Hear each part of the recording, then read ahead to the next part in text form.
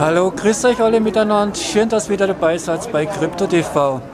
Heute haben wir den 20.12.2020 und hier in der Linzer Gasse, hier hinter mir seht ihr eine Demonstration, die sich um für die Flüchtlinge kümmern wollen. Es geht um das Flüchtlingsthema, wo haben sie Platz, wo finden sie noch Platz, sind Lager notwendig oder gibt es andere Lösungen? Und ich würde sagen, schauen wir uns einmal an, was da heute so alles abläuft. Und ihr kennt es mir alle. Ich bin kein neutraler Berichterstatter. Ich habe immer eine eigene Meinung noch extra dazu. Ich werde heute noch ein paar Leute interviewen. Hoffentlich heute lassen sich ein paar interviewen. So ein paar schöne Fragen. Also darum werde ich jetzt mal mir diese Fragen, die ich stellen werde, mir selber stellen und sie euch wiedergeben. Und dann schauen wir mal, was die anderen zu diesen Fragen hier offen haben. Also meine erste Frage wird sein, was ist das Wichtigste, wie man den Flüchtlingen helfen kann? Meiner Meinung nach, das Aller, Allerwichtigste, das ist einmal die Kriege zu beenden. Ja? Die Kriege im Nahen Osten vor allem. Ähm, wir in Österreich können uns schon lange nicht mehr dabei herausreden, dass wir neutral wären das sind wir nicht mehr. Ähm, da muss ich auch noch dazu sagen, die NATO-Bündnisstaaten, ebenso vor allem Amerika, die sind ja hauptsächlich daran schuld, dass es im Nahen Osten Bomben regnet. Und wie macht man das heute? Das macht man mit Drohnenflügen. Und die werden über Deutschland, über die Rammstein-Relaisstation gesteuert. Ich gehe mal kurz ein bisschen auf die Seiten, damit wir nicht so viel Gemurmel haben, dass man auch mich gut versteht. Also zurück zu Rammstein. Äh, wir wissen alle, die Erde ist rund und direkt von Amerika aus kann man keine Drohnen fliegen lassen in Nahen Osten, um dort die Bomben zu zünden. Da braucht man, um die Erdkrümmung zu überbrücken, die Relaisstation in Rammstein in Deutschland. Und das ist die größte Militärbasis, die es generell in ganz Deutschland gibt. Dafür gäbe es jedes Jahr wunderbare Demonstrationen zum Beispiel, die sich äh, gegen die Rammstein-Relaisstationen aussprechen würden. Also als erstes, das Wichtigste, die Kriege zu beenden. Wir können wir, wir tun uns sicher schwer, dem Militär zu sagen, ja, ihr müsst jetzt aufhören damit. Aber wir können uns sehr wohl zum Beispiel auch nach Rammstein begeben. Schaut mal im Internet nach, wenn die nächste Rammstein-Demo ist. Ich glaube, das wäre ein richtiges gutes Statement, dass man mal endlich diese Drohnenkriege beendet. Ja? Denn Leiden tun immer nur die, die Bevölkerung des Landes, nie irgendein Machthaber oder ein Diktator des Staates. Ja? Es leidet immer nur das Volk. Und das ist der erste Grund, warum Flüchtlinge flüchten, warum Einwohner zu Flüchtlingen werden.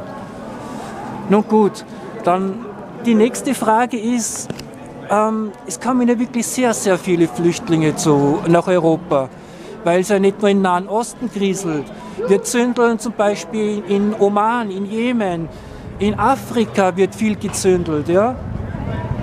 Und da beteiligen wir uns in NATO-Bündnisstaaten alle mit. Ähm, was tun wir dann, wenn die Flüchtlinge hierher zu uns gekommen sind? Hier ist heute ein großes Statement, manche würden sie gerne mit nach Hause nehmen. Ähm, ich werde mir wahrscheinlich sehr schwer tun damit, weil die Sprachbarriere natürlich auch da ist auch eine kulturelle Barriere. Man muss bedenken, wir sind alle unser heimisches Essen gewohnt. Ja? Und was ein großes Problem in den Flüchtlingslagern ist, dass wir ihnen äh, unsere heimische Nahrung präsentieren. Ich glaube, es wäre gar nicht schwer, wenn man in den Flüchtlingslagern auch heimische Nahrung äh, äh, auftischen würde. Ja? Ähm, man kann das ist sicher kein Kostenaufwand und auch kein logistischer Aufwand.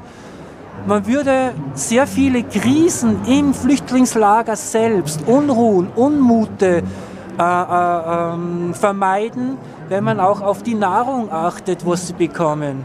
Das hört sich banal an, aber das ist ein wichtiger Punkt.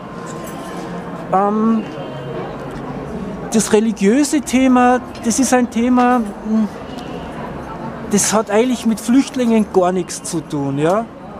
Ähm, viele Menschen haben Angst, dass zum Beispiel äh, unser Land islamisiert wird durch die Flüchtlinge. Nur, was sind Flüchtlinge und was sind Einwanderer? Das sind zwei Paar Schuhe. Flüchtlinge sind Menschen, die wieder zurück wollen in ihr Land. Wenn sie es können, wenn sie wieder sicher leben können, ja. Die wollen uns nicht missionisieren, missionarisieren. Die wollen uns nicht ihre Kultur aufdrücken. Die wollen nur eines nicht. Sie wollen keinen Bombenhagel. Sie wollen nicht, dass ihre Kinder ähm, äh, leiden müssen oder sterben müssen.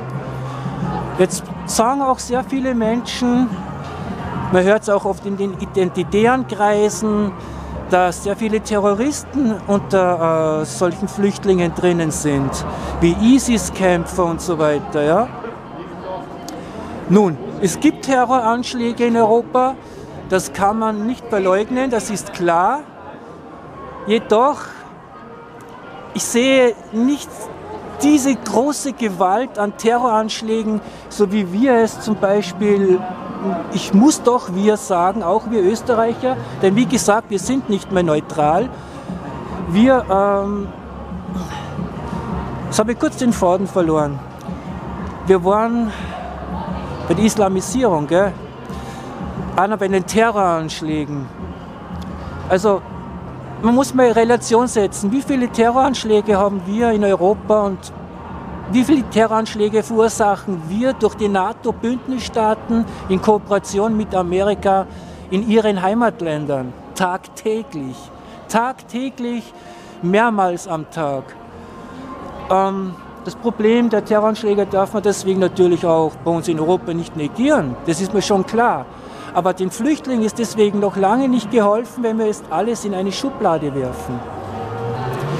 Also mal kurz zusammengefasst, Moment, muss man das kurz nachschauen. Ja.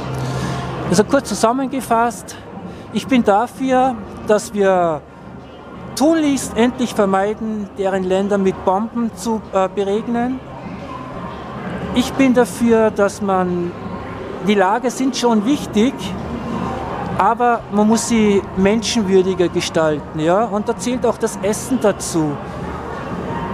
Und die Islamisierung, die Gefahr sehe ich in Österreich ganz und gar nicht. Ich muss sagen, ich habe sehr viele äh, muslimische Freunde in meinem Freundeskreis. Äh, ich war sogar mit einer Tunesierin schon äh, liiert, also nicht verheiratet, aber Sie war eine langjährige Freundin, ja, mit der ich zusammen gelebt habe. Und keiner von denen hatte mich jemals missionarisieren wollen. Bei denen ist allen die Religion Nebensache. Keiner von den äh, Moslems wollte mich jemals mis, äh, islamisieren. Also das ist ich weiß nicht, woher das kommt, dass man so Angst hat vor der Islamisierung. Klar, in Wien gab es jetzt einen Anschlag. Das darf man auch nicht vergessen. Wobei ich das sagen will, dass da der Staat Österreich, die Politik sehr viel vorher schon hätte vermeiden können, ohne dass es passiert hätte. Zum Beispiel, der was äh, den Terroranschlag in Wien das letzte Mal vor dem ersten, äh, zweiten Lockdown gestartet hatte, war stadtbekannt, dass er in, ich glaube in der Slowakei oder Slowenien, eines von beiden, ist er eingereist, wo er schon auf Bewährung heraus war. Also er war auf Bewährung heraus, der Attentäter, ist in die Slowenien, glaube ich, gefahren und hat sich dort Munition gekauft für ein Sturmgewehr. Die Regierung des Slowakei oder Slowenien hatte dann unseren Staat angerufen, gefragt, was ist das für ein Typ, der hat Munition gekauft. Nun, was müsste man dann in der Regierung eigentlich machen? Diesen Menschen sofort wieder einsperren, denn er war auf Bewährung heraus. Und es war bekannt, dass er Munition für Sturmgewehre gekauft hatte. Aber die Regierung hat nichts dagegen getan. Also hätte man das vermeiden können zu 100 Prozent. So sehe ich irgendwo, dass man Ängste forcieren will. Also wie gesagt, ich habe keine Angst vor Islamisierung. Meine muslimischen Freunde sind wunderbare Menschen. Ich finde, dass man die äh, Flüchtlingslage viel menschenwürdiger gestalten müsste. dann würden sich auch andere Menschen keine Gedanken machen müssen, sie zu Hause aufnehmen zu wollen. Ja? Und vor allem das Allerwichtigste, beteiligt euch an die Rammstein-Demonstrationen in Deutschland. Umso mehr Menschen dort anwesend sind, Millionen von Menschen, dann wäre es nicht mehr vertretbar, dass die deutsche Regierung auch unsere Regierung nicht mehr sagen könnte, wir können es gestatten, Drohnenflüge zu starten. Okay, somit schauen wir jetzt nach hinten. Ich höre jetzt die ersten Ansprachen, die hören wir uns jetzt an und danach hoffe ich, bekomme ich auch noch ein paar Interviews vor die Kamera. Also dann, bis gleich. Ja, der ihn komplett verharmlost wird. Also und am nächsten Tag 프렌치도 약간.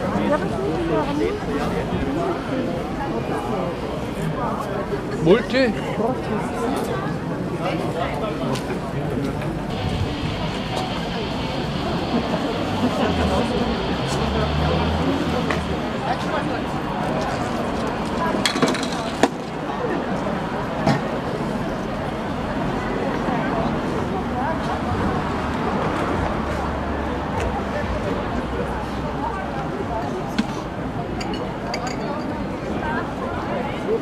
Seitdem wohnen 20.000 Menschen dort. Das entspricht ungefähr der Bevölkerung der Stadt Hallein.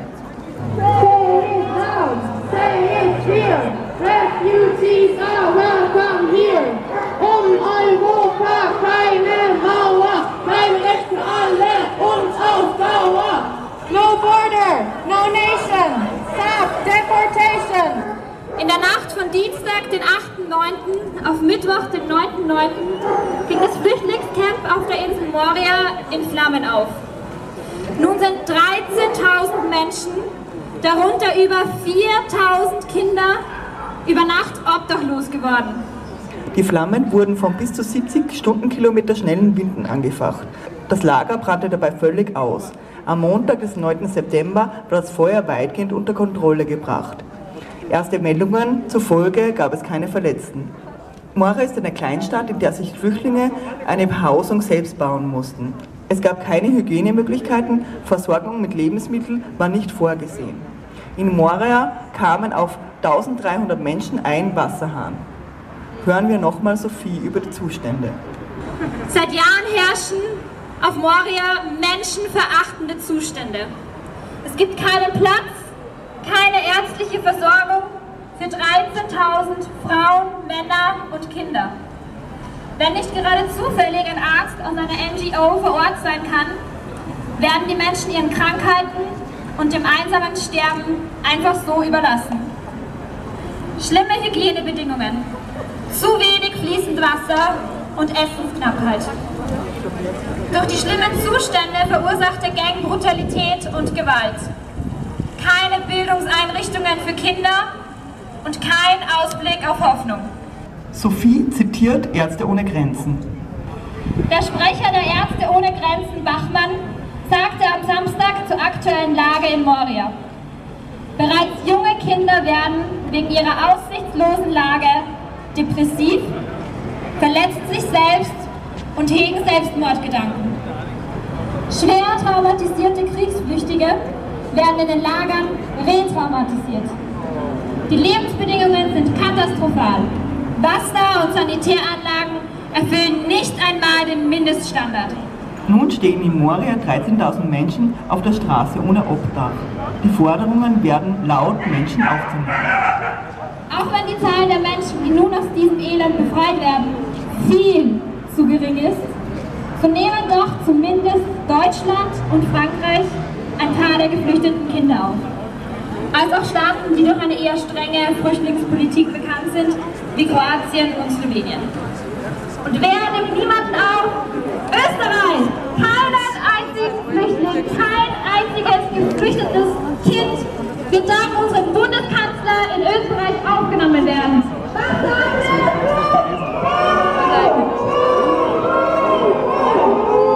Die Zug des 8. Mai meldete Schießer Gemeinderäte der Bürgerliche Salzburg zu Wort und gab den Anwesenden ein Versprechen.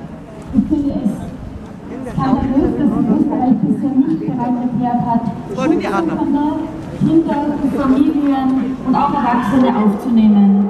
Ich werde am Mittwoch im Gemeinderat an unseren Bürgermeister appellieren, sich auch zu Wort zu melden und sich an seinen Bundeskanzler zu wenden und zu sagen, Salzburg hat Platz, wir wollen geflüchtete Menschen aus Moria aufnehmen.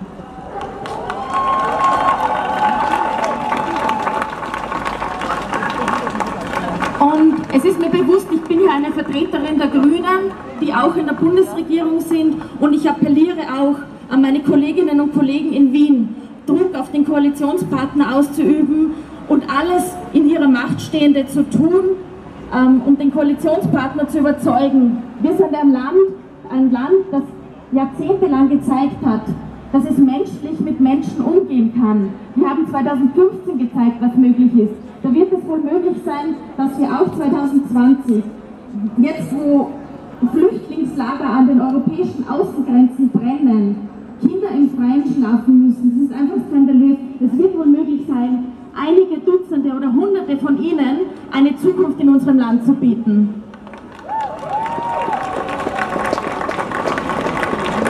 Wir haben Platz! Wir haben Platz! Wir haben Platz! Wir haben Platz! Wir haben Platz! Wir haben Platz! Unerhört. Der Infonahversorger auf der Radiofabrik. Radiofabrik.at slash unerhört.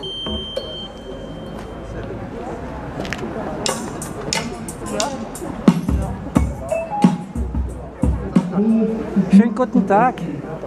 Ähm, ich habe eine Frage.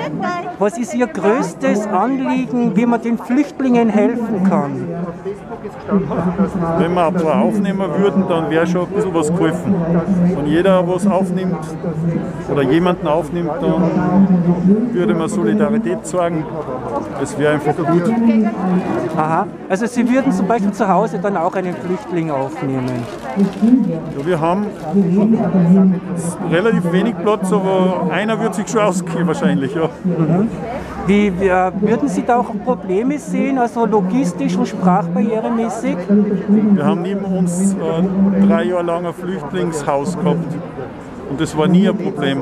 Also nie ein wirkliches Problem, sagen wir so. Äh, Eine andere Frage noch. Viele äh, Menschen haben ja Angst bei den Flüchtlingen, dass eine Islamisierung eintritt. Haben Sie da äh, andere Bedenken, also andere äh, Gedanken dazu? Können Sie da die Menschen die Angst davon nehmen, dass unser Staat islamisiert wird? Sagen wir so, Radikale gibt es in jeder Gesellschaft und genauso viele Nicht-Radikale oder mehr gibt es auch in jeder Gesellschaft. Was sehen Sie eine Gefahr der Islamisierung in Österreich? Nicht wirklich. Nein. Sie haben noch nie Kontakt damit gehabt. Schon mit, mit radikalem Islam oder mit Islam? Islamismus ist der radikalisierte Is- Muslim. Also mit Muslimen habe ich relativ viel Kontakt jeden Tag und also na, was, wo das Problem liegt, weiß ich jetzt nicht. Das ist eh in jedem selber das Problem. Nicht? Wenn, wenn wir zeigen, dass, dass man nicht unbedingt radikal sein muss, dann kann man auch mit gutem Beispiel am, am Muslim vorangehen. Nicht? Ja, kann es nicht besser sagen jetzt. Nicht jeder hat ja auch die Möglichkeit, zu Hause einen Flüchtling aufzunehmen. Ein paar Lager werden sicherlich auch noch vonnöten sein. Sehen Sie irgendwelche Reformbedingungen in den Lagern, die gemacht werden müssten, dass die Lager noch ein bisschen menschenwürdiger sind? Hätten Sie da Tipps dafür?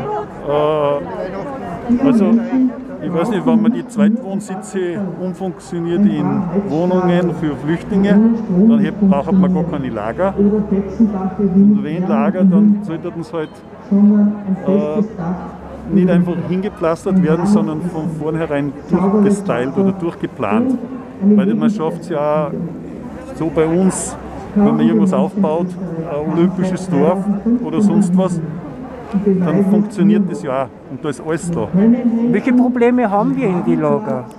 Ich, ich bin nicht in einem Lager. Ich weiß nicht, Hygiene habe ich gehört, äh, Hygiene, Bildung und äh, zu, enge, zu enge Bedingungen einfach. Ich hätte jetzt noch eine letzte Frage. Es wird ja alljährlich in der Militärbasis Rammstein in Deutschland demonstriert, dass man aufhört, die Drohnenkriege im Nahen Osten fortzuführen, was ja die Flüchtlinge erzeugt. Haben Sie davon schon mal was gehört? Ja, gehört, aber dazu habe ich jetzt kann ich nicht wirklich mitreden, was Mhm. das betrifft. Aber Also, würden Sie es wichtig finden, dass man sich auch dafür einsetzt, dass man zum Beispiel bei Rammstein demonstriert, um die Drohnenkriege zu beenden?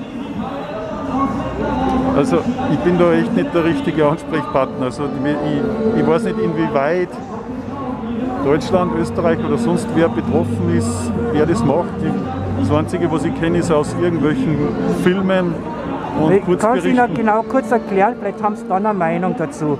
Die Erde ist ja rund und deswegen können die Amerikaner von Amerika aus die Drohnen Ja. nicht steuern, weil sie die Relaisstation zur Überbrückung brauchen. Und dadurch äh, bietet sich Deutschland ja eigentlich als das Land, das eigentlich nie wieder Krieg vom Boden aus machen wollte, sich an, doch wieder Kriege im Nahen Osten zu legitimieren. Also ich bin grundsätzlich nicht für Krieg. Wenn wir es so lassen können. Ich bin grundsätzlich einmal gegen Krieg. Es muss eine friedliche Lösung auch geben. Ich bedanke mich für Ihnen. Äh, haben Sie noch etwas, was Ihnen auf der Seele brennt? Nein, das was brennt, das versuche ich da jetzt halt dar- darzustellen. Okay, dann Ja, bedanke ich mich recht herzlich, dass Sie da sind und dass Sie das Statement abgegeben haben.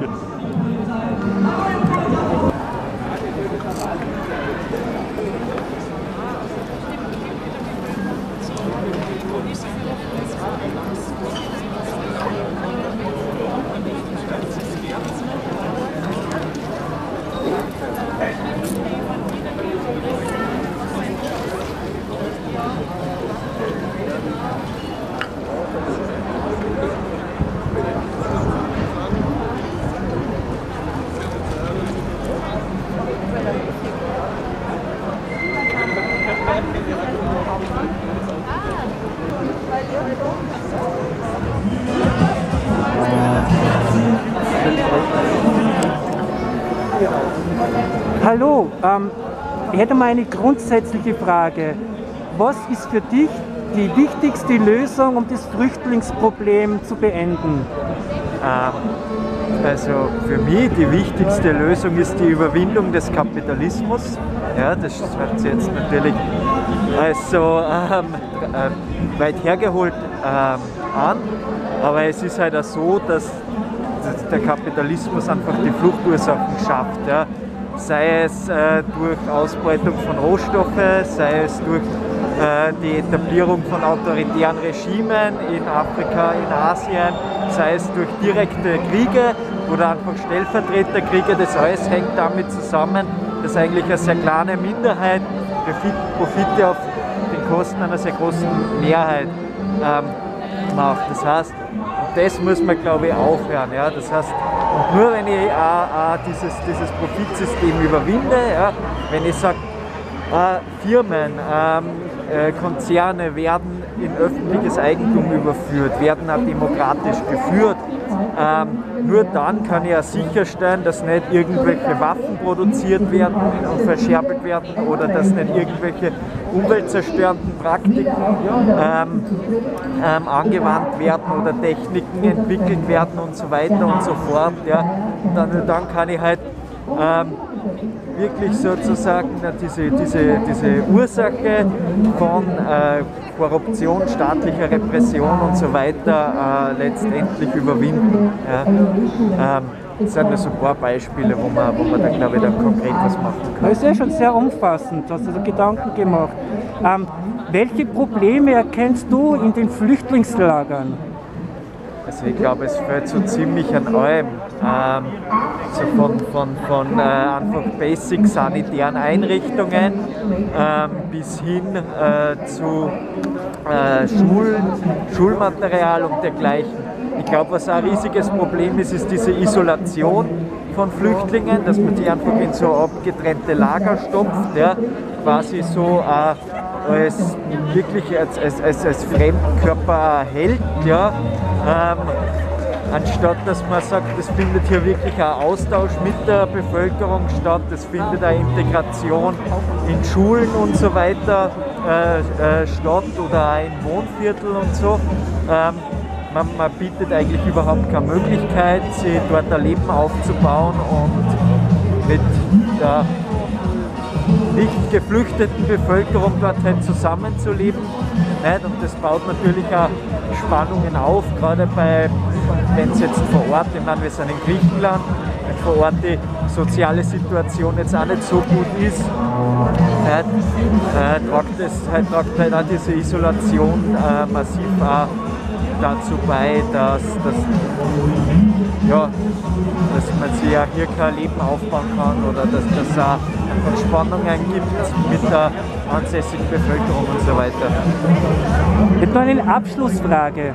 Ja? Äh, es findet alljährlich in Deutschland bei der größten Militär, äh, Militärstation in Deutschland in Rammstein Demonstrationen statt, ja. damit man die Drohnenkriege beenden kann. Ja. Weil die meisten Flüchtlinge entstehen ja durch die Drohnenangriffskriege in, von Amerika ausgesteuert, wo natürlich auch die NATO mit die Finger im Spiel hat. Ja. Findest du diese Veranstaltung wichtig und würdest du dir wünschen, wenn da mehr Menschen hingehen würden? Also ich kenne die Veranstaltung nicht genau, ähm, aber äh, die, also Demonstration gegen Drohnenkriege ist grundsätzlich mal sicher eine gute Sache, ja, die man unterstützen sollte. Mhm. Aber du hast da vorher sowas nicht gehört, dass es da Demonstrationen gibt? Nein, nicht in Rammstein. Mhm. Nein. Ich kenne mal die Demos gegen die Sicherheitskonferenz in München und so, aber Rammstein hat man nichts. Okay. Also Rammstein schon, aber. Ja, aber dass es keine Demonstrationen gibt, das hast du nicht gewusst. Das habe ich nicht gewusst. Nein. Okay. Aber brennt dir noch etwas auf die Seele, was du mitteilen möchtest? Ähm, ja, äh, sie organisieren, ähm, aktiv werden und ähm, kein Vertrauen in äh, die, die jetzigen Politikerinnen und Politiker haben. Ähm, oder in die Führenden zumindest. Ja, danke schön. Hallo, danke, dass Sie sich für das Interview bereit erklären. Ähm, was ist Ihr wichtigstes Statement oder die wichtigste Lösung, dass man das Flüchtlingsproblem beenden kann? Ähm, ich würde sagen, es ist eine europäische Fluchtpolitik, die menschenwürdig, die man den menschenwürdig denken muss. Also europäisch gemeinsam und natürlich jedes Land, also Österreich auch, ähm, muss die Kapazität, die es hat, eben nutzen. Man versteht leider sehr schwer. Können Sie ein bisschen lauter? ähm, ja.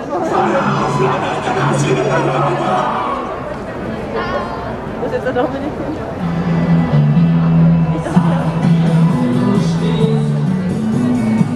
Wir bringen die Zeit nach vorn, Stück um Stück. Du kannst nicht bei uns und bei ihnen. ähm, was ist Ihre größte Idee oder wichtigste Idee, dass man den Flüchtlingen helfen kann? die momentane Situation betreffend, oder? Ja. Die größte Idee, also die, es ist wahnsinnig schwierig überhaupt, also das jetzt komplett zu ändern, aber was jetzt anliegt, ist einmal die Kinder herzuholen. Und das ist das Wichtigste, die Kinder mit ihren Familien herzuholen, zu retten aus dieser schrecklichen Situation. Das ist jetzt das, ich glaube, das ist aktuell am wichtigsten. Äh, viele Menschen haben unbegründete Ängste, dass wir in Österreich islamisiert werden durch die Flüchtlinge. Ja, also Sehen Sie das? Oder? Nein, das sehe ich nicht so. Weil erstens einmal, also das ist, es passieren natürlich, es sind schlimme Dinge passiert, aber äh, es ist leider, oder Gott sei Dank nur Einzelfälle.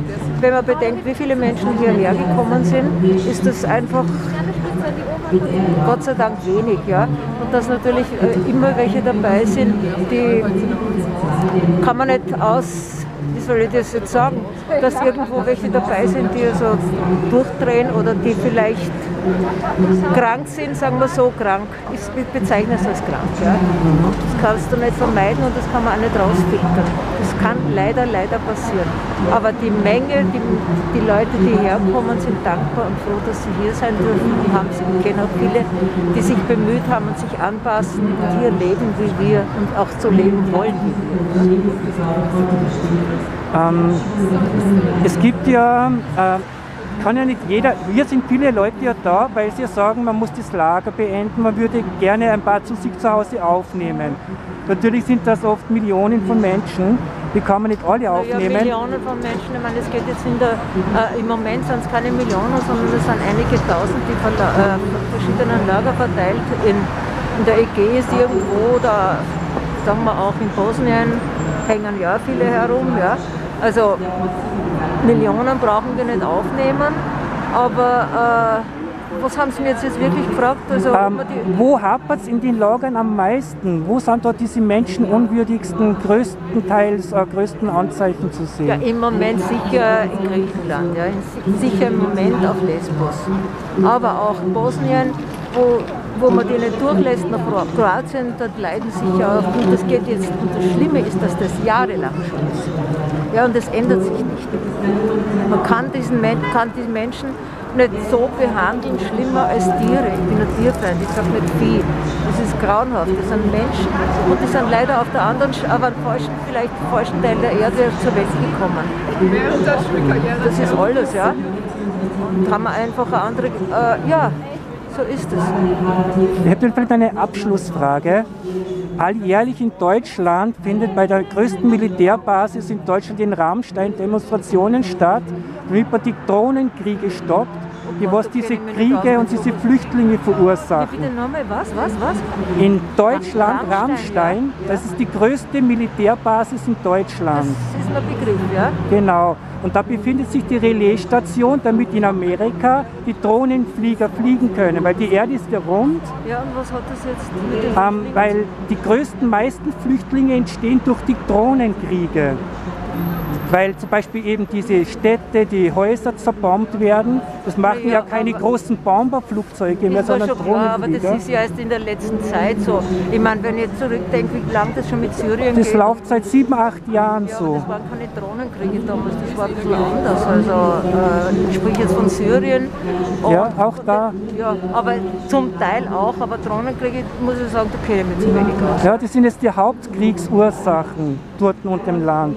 Würden Sie es wichtig finden, sich auch in Rammstein bei Demonstrationen einzufinden, damit die, die Wurzel des, Lös, des Problems, dass Flüchtlinge generell entstehen müssen, dass, dass sich da mehr Menschen einfinden würden? Haben Sie gewusst, dass es da Demonstrationen gibt? Demonstrationen? In Rammstein, alljährlich ja, gibt es dort. Ich bin dann in Österreich, ich weiß das nicht. Ja. Mhm. Ich meine, ich bin zwar informiert und einigermaßen was im Fernsehen, was in Deutschland passiert, aber das wusste ich nicht. Ja. Dass da die Drohnen Grund sind oder zumindest Menschen, das kann ich jetzt da kann ich dazu sagen. Mhm. Und das, was soll ich da machen? Ich bin da zu wenig. Also da, ja, das sagen leider die Medien auch nicht. Das ist leider ein großes Hauptproblem. Nein, ich meine, dass Drohnen nicht ungefährlich sind und dass ich das also eigentlich also, äh, ja, nicht besonders begrüße, dass sowas passiert überhaupt, weil eine Drohne kann wahnsinnig viel anrichten, ist mir klar. Ja. Es ist nicht nur das so Überwachung, sondern auch mit, mit, mit Raketen bestückt oder so irgendwas, das kann ich mir sehr gut vorstellen. Mhm. Das finde ich schrecklich. Ja. Es sind aber tausende Drohnenflieger, die was da ja. tagtäglich. Es gibt keine, jede Stunde äh, wirft eine Drohne eine Bombe ab, täglich. Wo? In Syrien, also, noch immer. Ja, da muss man das verhindern, aber fragst mich nicht wie. Ich bin, bin kein Politiker, ich finde das schrecklich. Das passiert schon seit über acht Jahren. Ja. Hast du das gewusst, Schatzi? Nein. Also ich habe im Fernsehen was gesehen. Und über Drohnen, die, ja, ich bin da, also, ich meine, dass es die gibt und so, das ist mir schon klar, aber dass das in der, in der Form und in der Größenordnung ist, ja, Amerika und vor allem die NATO-Bündnisstaaten, die setzen weniger Menschen als Bodentruppen ein und machen seit acht Jahren generell nur noch Luftangriffe was soll ich dazu sagen? Da werden die Menschen davon, davor verschont zu sterben, die Soldaten, ja, und werden durch Drohnen ersetzt. Es ist alles schlimm. Es ist schlimm. Äh, das nicht beurteilen. Es ist wahrscheinlich besser, wenn keine Menschen, keine Soldaten sterben, Menschen und nur die, und die Drohnen, aber dass die Drohnen das machen, ist also für mich, dass das überhaupt nicht alles zusammen. Haben Sie noch etwas, was Ihnen auf der Seele brennt, was Sie persönlich noch sagen möchten? Ja, Frieden. Und äh, äh, dass man, dass man versucht, also wirklich, wenn man jetzt schon von den Flüchtlingen spricht, dass man den Flüchtlingen hilft und sie nicht, nicht äh, als Feinde und als, als, als minderwertige Menschen bezeichnet, sondern dass man versucht, mit ihnen zu helfen und vielleicht auch besser integriert, dann könnte alles zusammen bei uns auch besser laufen. Ja, sehr schöne Gedanken. Ja, weil die Integration, da, da, da, da scheitert es äh, nicht nur bei uns in unserem Land, sondern auch in vielen Ländern und wir sind da sowieso spitzenmäßig. Leider. Leider. Mhm. Ja?